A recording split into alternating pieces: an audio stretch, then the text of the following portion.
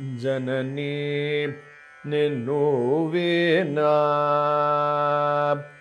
अम्ब जननी निर्हनु अम्बजननी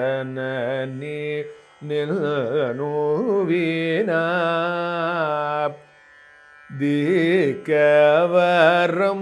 मा जगमुलो।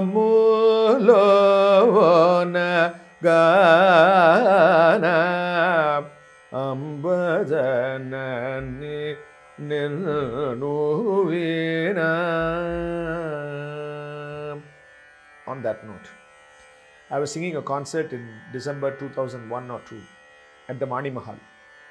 I had sung Janani Ninuvina as the main item and I sang Neravel in this line.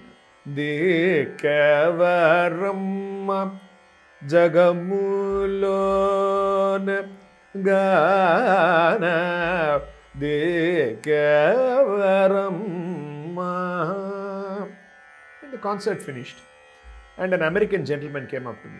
He introduced himself as uh, Harold Powers, and then he asked me, Have you heard Musiri sing? So I said, Sir, only recordings. Uh, I haven't seen him. You know, 40 years back, I heard the same Janani Ninuvina by Musiri, and he sang the Neravel in this Dikkevaramma. And after that, I've not heard anybody else sing this.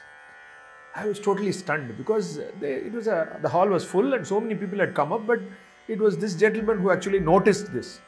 And then I told him, Sir, I'm a big fan of Musiri and I've heard this recording where he has sung this elaborate Neravel and I was inspired by it, and that's how I, I sang this. So he was very happy and then he left.